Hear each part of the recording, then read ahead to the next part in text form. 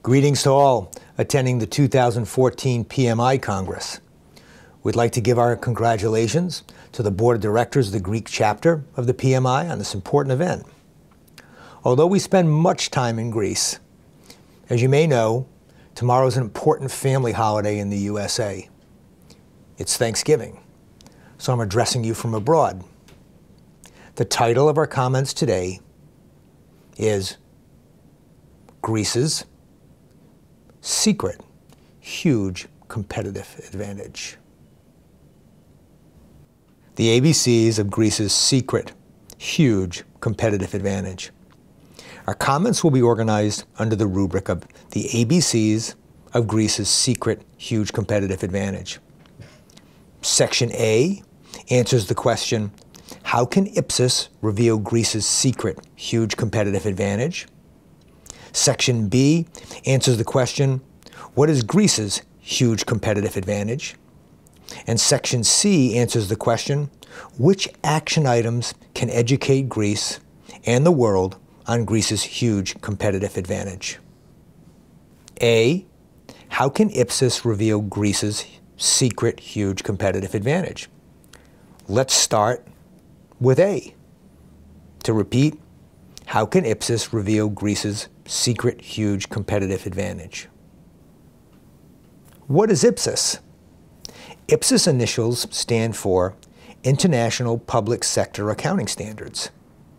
IPSAS is the public sector version of IFRS, the international accounting standards used by leading companies worldwide and in Europe.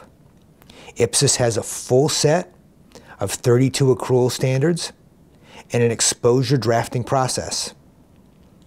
And IPSAS has an independent standard setting board and ensures that the standards are objective and continuously improving. Sea change and the government accounting. Over the past 30 years, there has been a sea change in government accounting. In 1995, three major public sector entities had accrual accounting New Zealand, Sweden, and the World Bank. Today and in the near future, over 40 public sector entities will be using accrual accounting. Please take note that these countries include UK, France, Austria, Portugal, Spain, Ireland, and Estonia. And I'd like to repeat this. Please take note. These countries include the UK, France, Austria, Portugal, Spain, Ireland, and Estonia. You should see at your table a helpful one-page handout that contains 10 questions and answers on IPSAS from an executive perspective. Over the past almost three years working in Greece, we have found many misconceptions about IPSAS. This one-page sheet answers the frequent questions about cost, timing, and the role of senior executives. As we have seen, step one in making progress is dispelling the misconceptions that are protecting the status quo from changing. These misconceptions have been embedded for years and are the main barriers to success. Video presentations. Over the next six minutes, we will show three short video clips, two minutes each, from highly respected professionals in the field of government accounting. Each will offer their recommendations to Greece regarding the adoption of international accounting standards. First, you'll hear from David Walker, the former Auditor General of the United States of America. Second, you will hear from Ruth Richardson, the former Minister of Finance of New Zealand. And third, you will hear the response that Dr. Ian Ball, one of the world's most highly regarded public sector accountants, gave to a question about Greece when addressing over 4,000 accountants at the World Accounting Congress held this month in Rome. Hello, I'm Dave Walker. I'm coming to you from my home in Bridgeport, Connecticut, in the United States. Unfortunately, my schedule does not allow me to be with you. I would have liked to have done that. You're participating in a very timely and important conference dealing with sovereign financial reporting. I have an interest in this. Why? First, I'm a certified public accountant in the United States. Secondly, I am the former Comptroller General of the United States, which is in effect the Auditor General for the United States. I also led strategic planning for Auditor Generals around the world and served as the first chairman of the Independent Audit Advisory Committee for the United Nations. In my view, the time has come to improve transparency and accountability in general and to enhance financial reporting for sovereign nations as well as a number of the government subdivisions. In my view, the time has come for government to start practicing what it preaches with regard to accounting and financial reporting uh, and related matters. In my view, there's a number of steps that need to be taken to try to improve financial reporting on a global basis. These are high level steps that can help to ensure more comparability, not only between countries, but also at different levels of government uh, within countries. Some of the things that need to be taken is we need to go to global financial accounting and reporting standards. So, in summary, it's time for governments to go from laggards to leaders as it relates to financial reporting. It's time for them to start practicing what they preach. I, like you, know that some progress has been made in recent years, but much remains to be done. All of us have a stake in this, not just investors, not just taxpayers, but citizens of the world. Working together, we can help create more progress quicker than otherwise would be the case. I look forward to continuing to interact with you. I thank you for the opportunity to speak to you, and may you have a great conference. Greetings, it's Ruth Richardson here, beaming in from New Zealand. I really welcome this opportunity to present at a forum that casts a serious and a searching spotlight on the conduct of public finances. Now, as to the manner of my presentation, well, it may reduce my carbon footprint, but I certainly hope it doesn't reduce my impact. And looking at that landscape and what New Zealand has pioneered, I ask myself this question why wouldn't any Minister of Finance in this fiscally stressed day and age not want to use these modern public finance tools and controls? New Zealand has been a leader in the world in the transparency of the government's accounts since the early 1990s. This transparency has a number of benefits, including contributing to our sound sovereign credit rating. And that's something worth, worth uh, chalking up. Why not an ambition to proactively undertake real public finance reform rather than being forced to take piecemeal remedial action by creditors or rating agencies. And finally, why not execute with the advantage of being able to deploy modern performance management tools in respect of both budgeting and accountability in the public sector?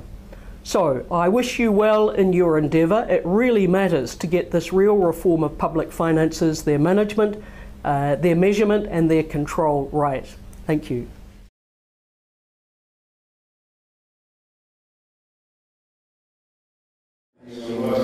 Well, the Greece example is a really interesting one because it was the Greek numbers and the realization by markets that those numbers were really seriously unreliable that triggered the sovereign debt crisis. And, and we saw subsequently the significant impact that had on Europe as a whole, uh, in fact, on the global economy, but particularly on Greece. And the consequences for Greece were really very, very bad indeed. Um, what's interesting about that in some ways is that uh, as an illustration of the difference between, so to speak, good numbers and bad numbers, um, the debt to GDP ratio that's commonly cited for Greece um, by credit rating agencies under the Maastricht arrangements is 175%. So debt to GDP is 175%. But the way that's measured is not according to international accounting standards.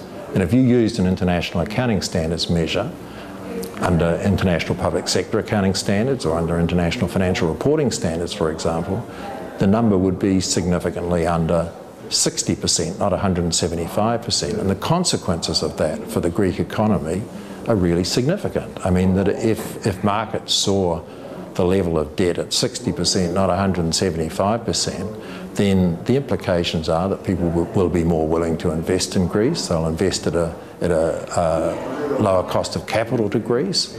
Um, it means that Greek businesses will be able to borrow at more favourable interest rates. At the moment, they're paying a significant penalty above their European competitors, and that would have really significant benefits and very rapid benefits to the Greek economy. So, the, having good numbers is critical to economic decision making. Putting the comments of David Walker, Ruth Richardson, and Dr. Ian Ball into perspective, let us add a few supplemental points to the comments they made during their videos. Building trust and confidence. The consistent advice from successful global leaders is that building trust and confidence is the cornerstone of good government. IPSAS supports this cornerstone by starting with the highest integrity financial reports. Quality financial reporting can build the trust of taxpayers within Greece. Quality reporting can build the trust of global investors assessing investments in Greece. We suggest you read Professor Jacob Soll's book, The Reckoning Financial Accountability and the Rise and Fall of Nations. His book contains brilliant historical insights on the importance of good government accounting to the survival of a nation. Better management of government finances to put the management challenges of the government in perspective, understand the following facts. The Greece government is responsible for managing an 80 billion euro budget annually. The government is responsible for managing over 650,000 employees. And the Greece government is, re is reported to compose approximately 50% of the country's entire GDP. IPSAS financial information will allow for better management of financial and privatization assets and government liabilities. IPSAS financial information will allow for better management of spending and revenues. Ask any successful manager, be they in the private or the public sector, and they will say, you cannot manage what is not correctly measured. IPSAS is essential to provide the correct information upon which to make the most important financial decisions. IPSAS protects against debt-fueled growth. An example is that IPSAS protects against debt-fueled growth. IPSAS provides the information to more clearly see the importance of no increase in net debt. IPSAS provides high integrity net debt numbers. IPSAS net debt numbers can be provided monthly and within weeks of month end. IPSAS can be used to disclose the potential impact on net debt of major financial decisions. And remember, the Maastricht debt covenant stays in place. Difference between debt at fair value versus debt at legal contract value. There are several points of information to understand when comparing IPSAS to the often cited Maastricht debt number. IPSAS debt is on the books at fair value, calculated either upon initial recognition or at the time of substantial modification, both with accretion over time.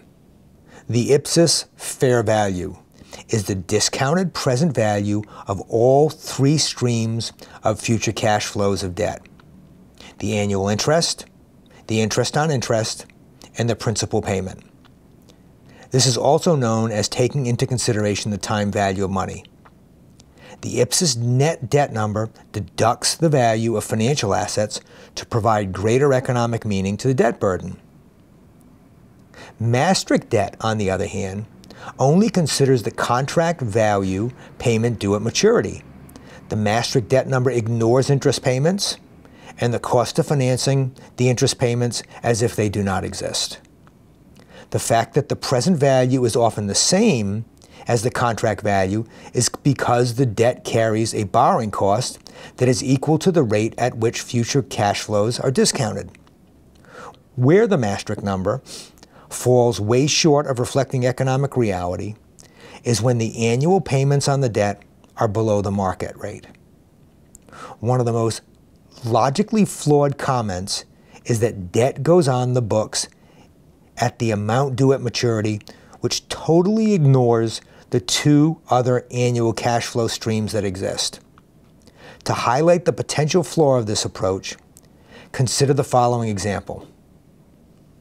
If the current legal formula attempted to include all three streams to get the most meaningful representation of future obligations, a 100 million euro 40 year bond with a 7% coupon would have a total nominal value of all three streams over the entire 40 years of almost 1.4 billion euros. The importance of IPSAS will become even clearer as we move along the remainder of the slides. B. What is Greece's huge competitive advantage? Now, let's move on to section B. What is Greece's huge competitive advantage? B. Greece's huge competitive advantage. Greece has a huge competitive advantage, which is largely kept a secret for a variety of practically motivated reasons. But the reality is that Greece's net debt as a percentage of GDP is significantly below 60%. Yes, Greece's net debt as a percentage of GDP is significantly below 60%. And let us stress the words significantly below. The ratio is so low that it is only one third, one third of Greece peer countries, Italy, Spain, Ireland, and Portugal, on an IPSAS apples to apples basis. Related, Greece's cash net interest payments could be close to zero. Yes, on a cash net interest payments, the number, if reasonably managed, could be close to zero. Even when looking at gross cash interest, Greece's annual interest payments are about one third, one third of Greece's peers, Italy, Spain, Ireland, and Portugal. This is truly a huge competitive advantage. I think we've all heard the proclamation that Greece is somehow held back today by its debt. This is simply not factually accurate. There is very little net debt to cut, and there is essentially no interest burden if financial assets were reasonably well managed. Feel free to contact Japonica if you'd like to know the exact numbers. You should know that the Greece debt numbers has been third party, independently verified using IPSAS. Greece unique capital structure. Now let us give the compelling details supporting this huge competitive advantage. Let's start with understanding Greece unique capital structure. 275 billion of Greece 319 billion in debt, which is 86%, has concessionary and or rescheduled terms.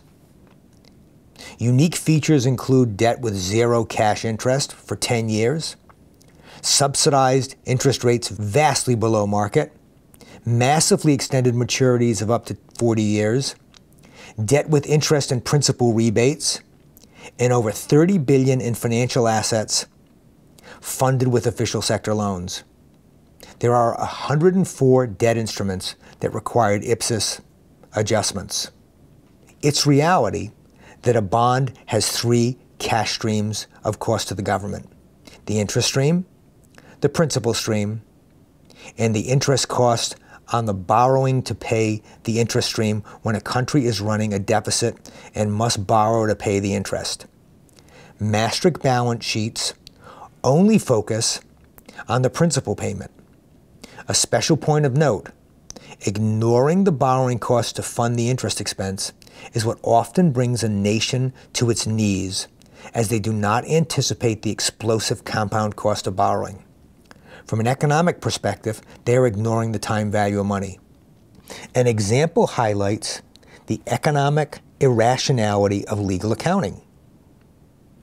Under Maastricht, if a company restructured a 1,000 face bond into a 40 year bond that paid 100 in interest and only $1 at maturity, Would it go on the books at $1?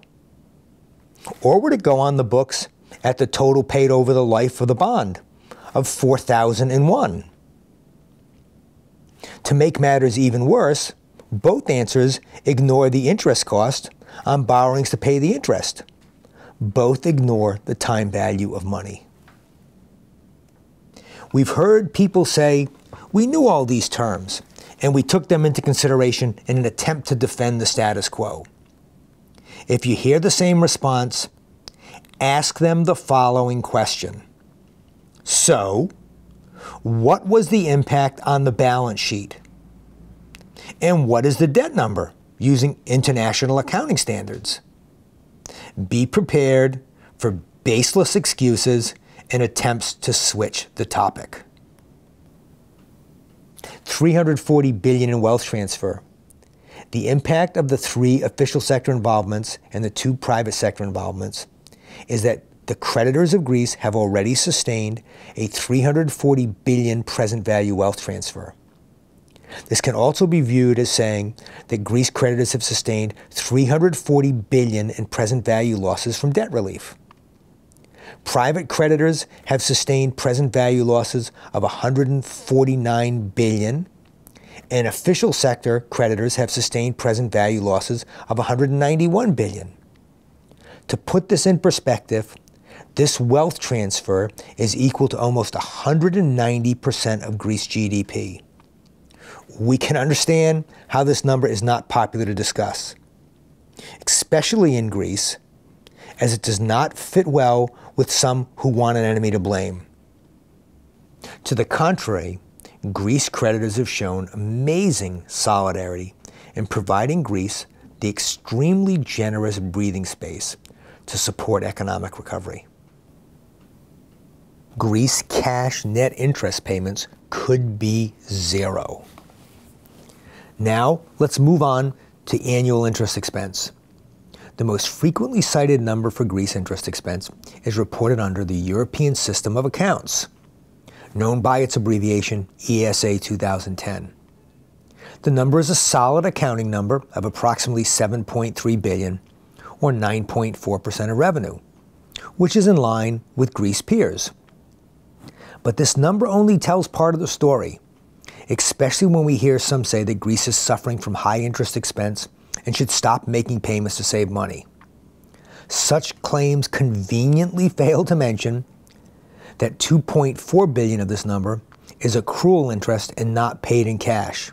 Such claims also fail to mention that the government received 2.7 billion in rebates on interest and principal that obviously would not have been received if they had not been paid. Combining these two unique features, Greece's cash interest payments are only 3.4% of revenue, which is one third, one third of its peers. And from a sound management perspective, those managing the over 30 billion in financial assets funded by Greek official creditors should be expected to show returns similar to the median of public sector entities for similar assets.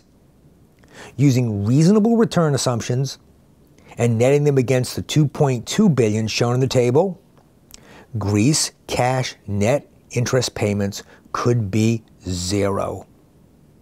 Look at the math again. The conclusion is that Greece cash net interest payments could be zero. In sum, you cannot cut what is not there. And remember, credit peer interest expense is approximately 10% of revenue.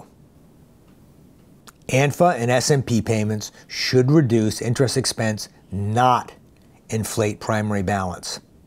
Let's take a second to look at the ANFA and SMP rebates. As just mentioned, the Greece government received 2.7 billion in 2013 and is budgeted to receive 2.4 billion in 2014 from the ECB and national central banks. These payments are from interest expense and principal payments made by the government on its bonds. Economic reality and proper accounting is that these rebates should be netted against interest expense and not used to inflate primary balance. This should be enough said, as this should be rather obvious. Greece versus peer borrowing cost examples, one of three. Keeping the Greece huge competitive advantage secret has many negative consequences. One of the most obvious is the higher borrowing costs suffered by Greece. As this table illustrates, Greece long term bond rates are about 580 basis points higher than its peers. This cascades down to the borrowing costs of Greek flagship companies that pay 8.7% on long term bonds compared to international flagship competitors paying only 1.2%. That's 650 basis points more. This higher cost of capital is one reason Greece flagships have net margins that are 450 basis points lower than their international peers. Greece versus peer borrowing costs examples, two of three. This slide shows a few names on the left side that are familiar to you. Listed are the yields on their bonds versus their peers. The average of 8.7% versus 1.2%. Forcing Greece companies to compete internationally with such an astronomical borrowing cost disadvantage is really highly damaging to the country's prospects for creating attractive and sustainable jobs. This also damages exports. Greece versus peer borrowing cost examples, three of three. This table shows data on Greece major banks compared to flagship banks of its peers. Look at the numbers. An average of 8.52% for the Greece banks versus 1.81% of the Greek peers. Banks are fundamental to the economy. Suffocating them with outrageous interest costs is destructive. We would hope their major stockholder would be more successful in educating the capital markets and the ECB on the Greece huge competitive advantage to drive down the government's borrowing costs and in turn the borrowing costs of the banks. A success on this front would also increase the value of the government's ownership in the banks. ECB 40% penalty on Greece collateral compared to peers 5%.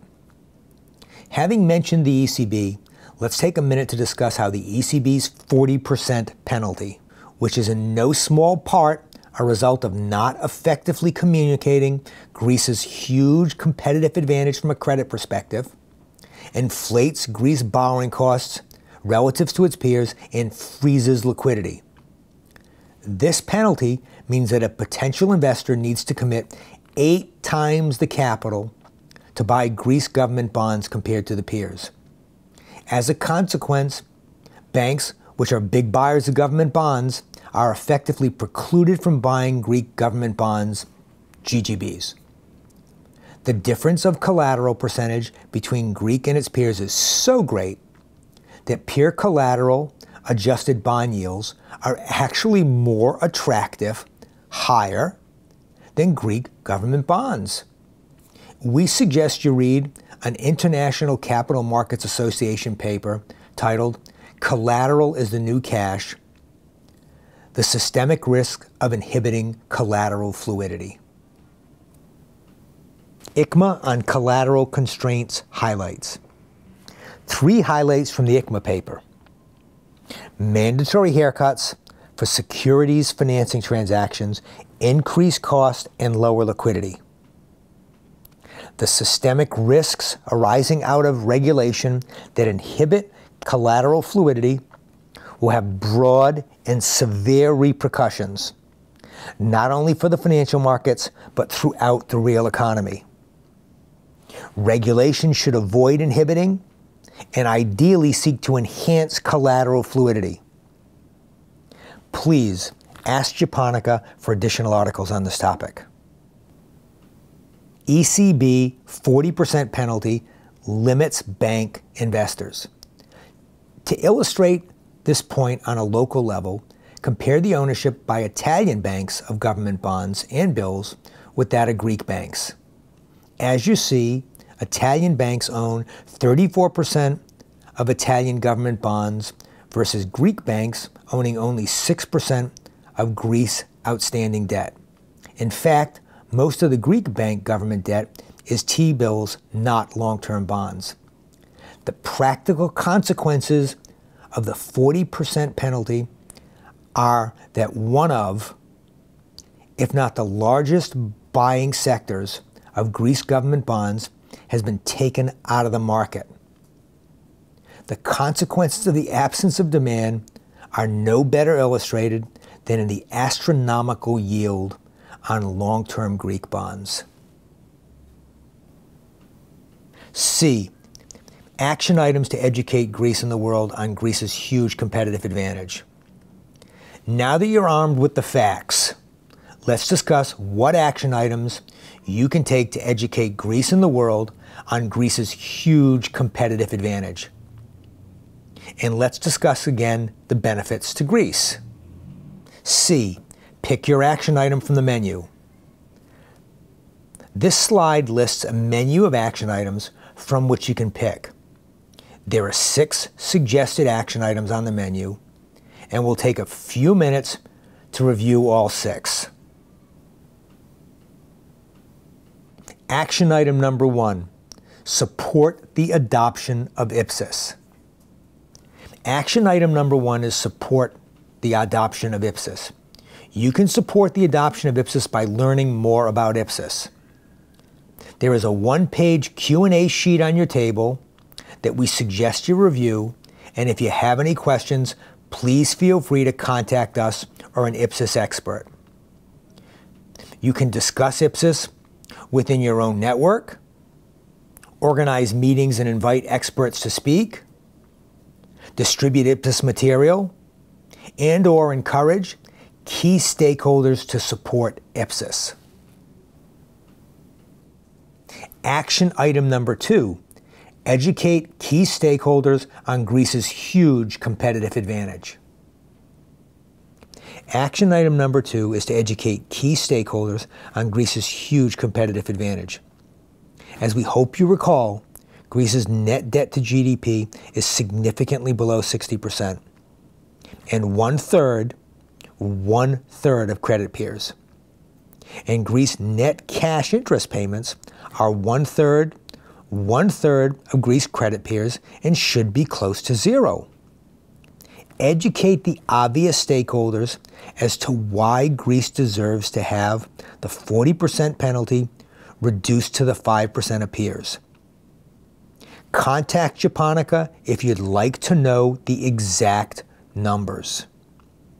You should know that the Greece debt number has been third party independently verified using IPSAS. Action item number three jumpstart 200,000 to 400,000 sustainable jobs within 24 months.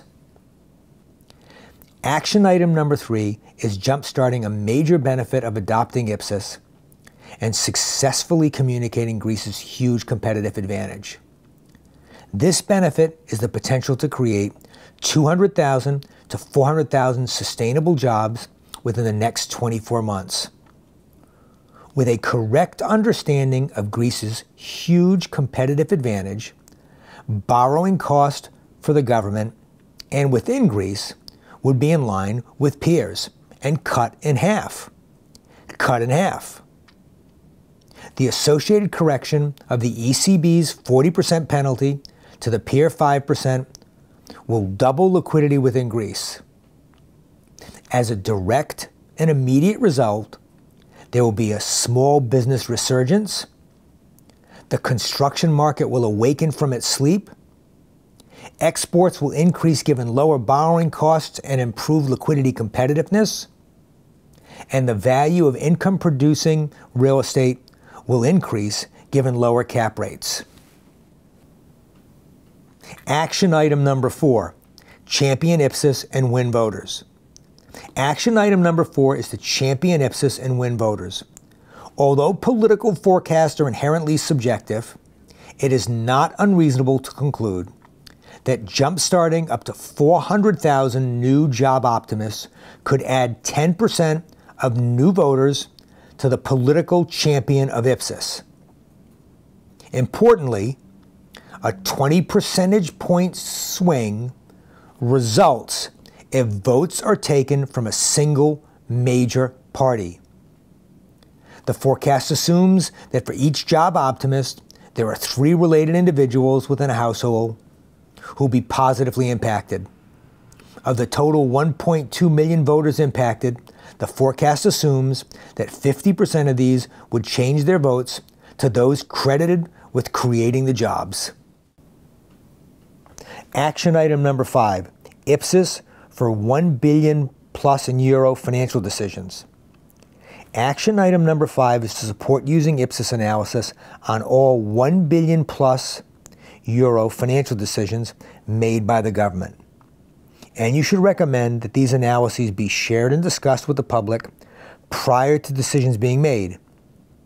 Examples of billion plus decisions, which can add up to having tens of billions in euros in financial impact, include debt buybacks, government controlled banks forced to sell or swap GGBs, bond issuances, management of financial assets, and privatizations. For anyone who has followed such transactions, you can see how the impact could be in the tens of billions. Action item number six voice your support for leadership to stop selling negativity. Action item number six is to voice your support for leadership to stop selling negativity and start selling Greece's huge competitive advantage. At this point, we'd recommend you locate and review the following examples. A Wall Street Journal special advertising section on October 10, 2014, selling negative comments about Greece. A Bloomberg exclusive interview with Greece political leadership on October 31st, 2014, selling negative comments about Greece, and frequent comments by political leadership selling negative comments about Greece bank system safety. Greece's huge competitive advantage. To those seeking to deny Greece's huge competitive advantage, with the flippant responses that even if Greece's debt is not due for 40 years, it still has to pay it back, or that Greece is simply kicking the can down the road, just ask them two simple questions. Two simple questions. One, what was the impact on the balance sheet debt from the modification of 275 billion in Greece debt with concessionary and rescheduled terms? And then ask, what was Greece's exact debt number under international accounting standards on December 31st, 2013? The responses we most often get are nothing more than attempts to defend the status quo and defend themselves against claims that they miss Greece's huge competitive advantage. Greece has unnecessarily suffered and continues to unnecessarily suffer because the status quo has missed Greece's huge competitive advantage and has instead resorted to selling fear and loathing. Every socially minded citizen of the world should champion IPSAS for Greece and jumpstart the creation of 200,000 to 400,000 jobs within the next 24 months. Greece has a huge competitive advantage that can jumpstart 200,000 to 400,000 new sustainable jobs within the next 24 months. Now is time to judge leadership on how effectively they can educate on the huge competitive advantage and not on how effective they are in selling fear and loathing. Thank you for the opportunity to discuss Greece's huge competitive advantage. And please feel free to contact us if we can be of any help in selecting your action items. Best wishes in educating Greece and the world on Greece's huge competitive advantage. Education can change the 40% penalty to five, cut borrowing costs in half, double liquidity, and can jumpstart 200,000 to 400,000 new sustainable jobs within the next 24 months. Thank you again.